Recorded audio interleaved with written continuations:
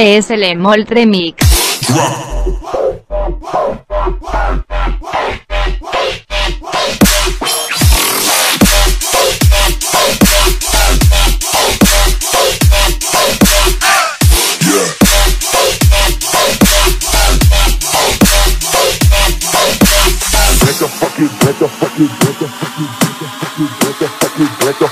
let the fucking beat rip. Switch.